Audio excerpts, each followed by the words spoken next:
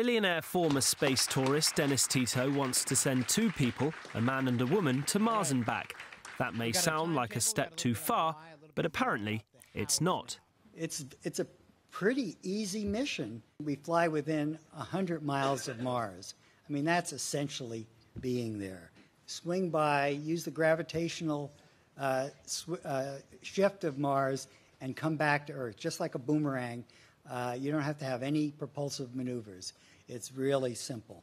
But it's not really, is it? For starters, it has to take place in January 2018. That's because that's when the planets are correctly aligned. And the couple has to be chosen very carefully too. A year and a half in a tiny spaceship with just one other person is an awfully long time. It's not necessarily going to be a very easy trip.